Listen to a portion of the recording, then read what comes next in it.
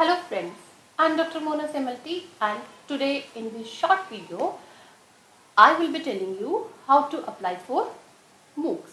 Alright, so in this video we will see what are important things which you need to know before applying for SWAYAM MOOCs. Okay, so SWAYAM MOOCs, okay First uh, about MOOCs, you all know that MOOCs are massive open online courses. A student can enroll in any course and get certificate and credits. Okay, all the courses are free to enroll and learn and faculty members can either uh, apply for a course or they can be part of developing they can be part of uh, a developing MOOC as a presenter or content writer. Okay. So applying for MOOC, what you need to do first is go to the website of National Coordinator. See, CEC is the website, uh, CEC is the National Coordinator and the website of CEC is cec.nic.in. There, uh, there you will get an application form. You have to fill it and submit it with introductory video to CEC through email. And remember CEC is the national coordinator for UG MOOCs and PG MOOCs both. Okay. So this is the list of national coordinator. You can identify any one national coordinator as per your requirement.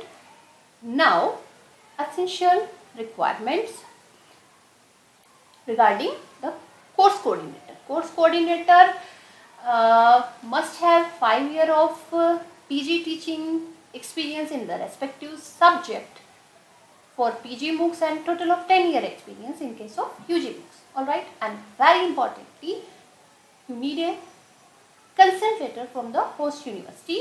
So in the expression of interest at the end of it you will find you will find a format for the same. So you have to take it from the uh, university okay and for non-governmental university, if your university has status of 2F and 12B, then you can go for development of MOOC. Okay. So what are the steps in the development of MOOC? Choose a subject or a course for MOOC. Identification of national coordinator as per your requirement. Prepare the framework of the course. Draft the proposal as per the requirements. Okay.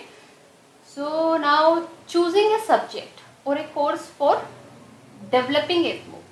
See, what are the criteria? So, it completely depends on you that which course you must choose for the development. Okay, it should be not it should be it it uh, if it is curriculum based core and curriculum based is always better then you can easily go for credit transfer okay and if it is not core subject if it is elective also then also there is no problem. The thing which you must keep it in mind that it should have broad coverage. And if it is interdisciplinary that is also uh, that's also well and good okay? So nowadays need based courses are in demand. So you can go for any course which is need based interdisciplinary which should have broad coverage. So all these things are important.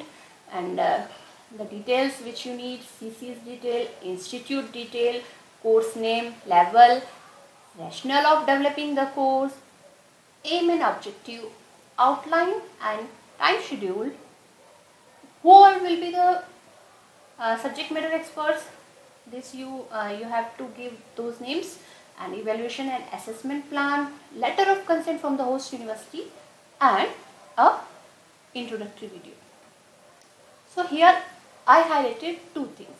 Rationale of developing the course. So this is very important as this is important for writing a research paper or writing a research proposal. See what is the logic behind the development of this course, what is the need that you have to justify. And second thing, introductory video, okay. So introductory video, uh, I will tell you in brief that how to prepare introductory video. Uh, the length of introductory video should be minimum less than uh, 5 minute or uh, 5 minute or less than 5 minute. Uh, it's not minimum. It should be less than 5 minutes and up to 5 minutes okay? And uh, you have to outline the course in brief and concise manner.